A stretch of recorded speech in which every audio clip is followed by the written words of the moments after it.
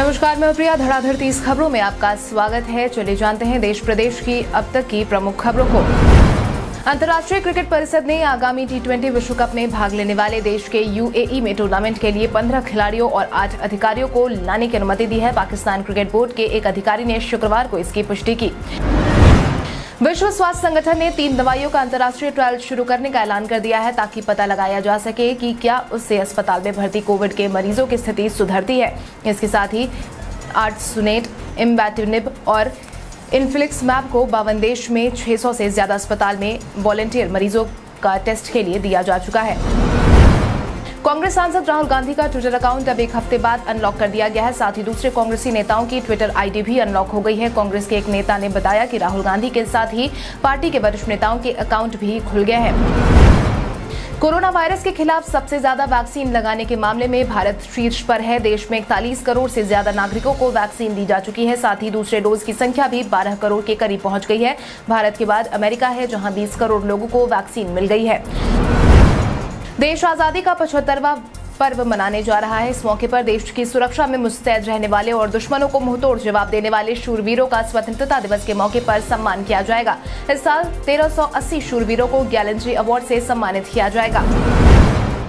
स्वास्थ्य मंत्रालय के मुताबिक पिछले 24 घंटे में देश में कोरोना संक्रमण के अड़तीस हज़ार छह सौ सड़सठ नए मामले सामने आए हैं। कोरोना के नए मरीज़ मिलने के बाद अब देश में कुल संक्रमितों की संख्या तीन करोड़ इक्कीस लाख छप्पन हज़ार चार सौ तिरानवे पर पहुँच गई है। वहीं चार सौ अठहत्तर लोगों की जान चली गई है। देश के पहले स्वदेशी एयरक्राफ्ट कैरियर आईएनएस विक्रांत के पहले सी ट्रायल के बाद अब उम्मीद जगी है कि अगले साल अगस्त में ये भारतीय नौसेना में शामिल हो जाएगा। दो सौ बासठ मीटर लंबे इस जंगी जहाज़ की डिज़ाइन स्वदेशी है, जिसे भारत में बनाया गया है। ये देश का सबसे पहला जहाज़ है। उन्नीस सौ निन्यानवे में पहली बार स्वदेशी एयरक्राफ्ट कैरियर पर भारतीय नौसेना ने काम करना शुरू किया था। अमेरिका में भारत के राष्ट्रपिता महात्मा गांधी को सर्वोच्च नागरिक सम्मान, यानी कि कांग्रेशनल गोल्ड मेडल दिया जा सकता है। इस संबंध में अमेरिकी संसद में दोबारा प्रस्ताव पेश किया गया है, जो न्यूयॉर्क के एक सांसद ने दिया है, जिसको सम्मानित करने का प्रस्ताव अमेरिकी प्रतिनिधि सभा में तेरह अगस्त को ही पेश किया गया था। केंद्र की मोदी सरकार फर्जी मतदान रोकने के लिए एक बड़ा कदम उठा सकती है। इसके तहत केंद्र आधार कार्ड को वोटर आईडी कार्ड से जोड़ने की तैयारी में इसके लिए सरकार को कुछ कानूनों में संशोधन करना होगा। इसके साथ ही डेटा सुरक्षा का फ्रेमवर्क तैयार करना होगा। मोदी सरकार ने हर साल 14 अगस्त को देश में विभाजन विभीषिका दिवस के रूप में मनाने का फैसला लिया है। 14 अगस्त को विभाजन विभीषिका स्मृति दिवस के तौर पर मनाने के संबंध में केंद्र की अधिसूचना भी जारी कर दी गई है। ग्लोबल वार्मिंग और जलवायु परिवर्तन को अब और नजरअंदाज नहीं किया जा सकता है। जुलाई 2021 इतिहास का सबसे गर्म महीना बन चुका है। पिछले 142 सालों से तापमान रिकॉर्ड किए जा रहे हैं, लेकिन किसी भी महीने का तापमान इतना ज़्यादा नहीं था जितना जुलाई के महीने में था। संघ लोक सेवा आयोग ने 2021-22 में होने वाली परीक्षा, भर्ती परीक्षाओं का शेड्यूल जारी कर दिया है। 2021 में कुछ नोटिफिकेशन भी जारी होने वाला है, जिनमें engineering service 2022 combined geo scientist 2022 शामिल है। इनके नोटिफिकेशन 22 सितंबर को जारी किए जाएँगे। वहीं 1 दिसंबर को सी आई एस ई ए सी परीक्षा 2022 और 22 दिसंबर को एनडीए सीडीएस 2022 नोटिफिकेशन जारी किया जाएगा। इंडियन ऑयल कॉरपोरेशन लिमिटेड ने अप्रेंटिस के पदों पर भर्ती के लिए आवेदन आमंत्रित किए हैं। इस वैकेंसी के तहत कुल 480 पदों पर भर्तियाँ की जाएँगी। इच्छुक और योग्य उम्मीदवार आईओसीएल की आधिकारिक वेबसाइट आईओसीएल के माध्यम से ऑनलाइन आवेदन कर सकते हैं।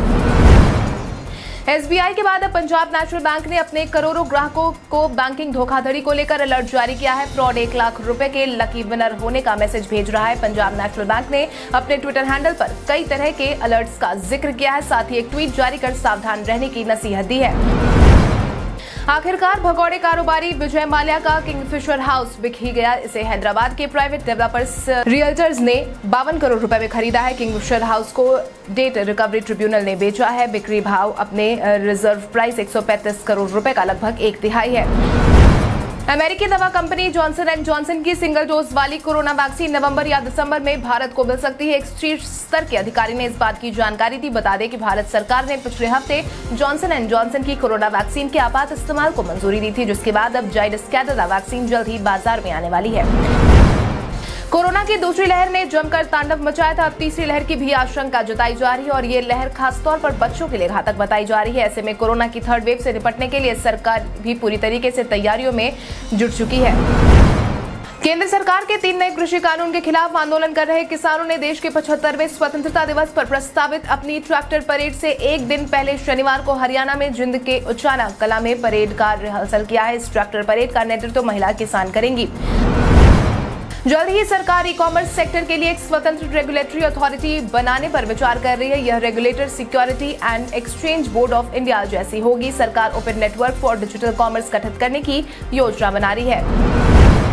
महाराष्ट्र के बाद अब पंजाब ने दूसरे राज्यों से आने वाले लोगों के लिए नई गाइडलाइन का ऐलान किया है। पंजाब में सोमवार से एंट्री के लिए फुल वैक्सीनेशन का सर्टिफिकेट या नेगेटिव कोरोना रिपोर्ट दिखाना अनिवार्य है। ज्ञात हो कोरोना की संभावित तीसरी लहर को देखते हुए यह फैसला लिया गया है।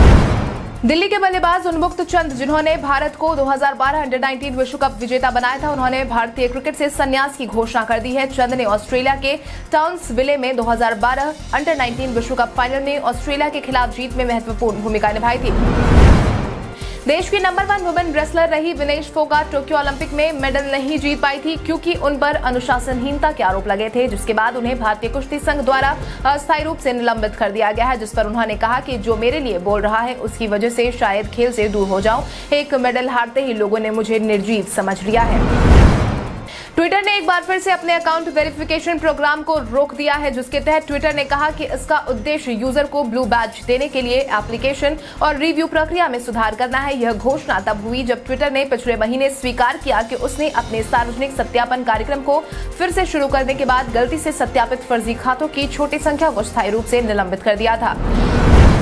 पूर्व आईपीएस अधिकारी अमिताभ ठाकुर ने आगामी विधानसभा चुनाव में मुख्यमंत्री योगी आदित्यनाथ के विरुद्ध चुनाव लड़ने का ऐलान कर दिया है। उन्होंने कहा है कि मुख्यमंत्री योगी आदित्यनाथ ने अपने कार्यकाल में तमाम ऐसे कार्य किए हैं जिनके विरोध स्वरूप वो इस बार उनके खिलाफ चुनाव लड़ेंगे। नेपाल में नेपाली कांग्रेस की सरकार है। शेर बहादुर देवा को पीएम बने 13 अगस्त को एक महीना हुआ है। इससे पहले केपी शर्मा ओली पीएम थे। उनके पीएम रहते भारत नेपाल के बीच संबंधों में खटास आई थी। अब नेपाली कांग्रेस ने भारत और चीन को लेकर कहा है कि चीन एक स्पेशल पड़ोसी के रूप में भारत की जगह नहीं ले सकता। 12 साल के ऊपर के बच्चों को जैसे ही टीकाकरण की सूची में प्रतिबद्ध किया जाएगा, वैसे ही कोमोरबिडिटी पीड़ित 12 साल से ऊपर के बच्चों को कोविड 19 के खिलाफ टीकाकरण पहले होने की संभावना है। वैक्सीन पर सरकार को सलाह देने वाले कोविड 19 ग्रुप का मानना है कि स्कूल जाने के लिए हर बच्चे का टीकाकरण करने की ज़रूरत नहीं है। देश अपना पचहत्तरवा स्वतंत्रता दिवस मना रहा है, जिसके तहत बिहार के मुख्यमंत्री नीतीश कुमार कड़ी सुरक्षा व्यवस्था के बीच कल स्वतंत्रता दिवस के अवसर पर पटना के ऐतिहासिक गांधी मैदान में झंडोत्तोलन करेंगे। इसको लेकर सारी तैयारी पूरी कर ली गई है। हालाँकि इस दौरान कोरोना प्रोटोकॉल का पालन किया जाएगा। बिहार में गंगा ने अपने पिछले सारे रिकॉर्ड को तोड़ दिया है। गंगा के जलस्तर लगातार बढ़ रहे हैं। गंगा में सबसे ज़्यादा बाढ़ उन्नीस सौ छिहत्तर में आई थी, जो रिकॉर्ड 2016 में टूट गया था। 2016 में गंगा खतरे के निशान से 141.5 सेंटीमीटर ऊपर बह रही थी और 2021 में उस रिकॉर्ड को भी ध्वस्त कर दिया है।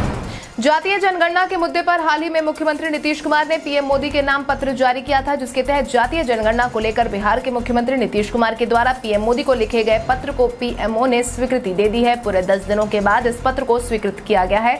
हालाँकि नीतीश कुमार को मिलने का बुलावा अब तक नहीं आया है।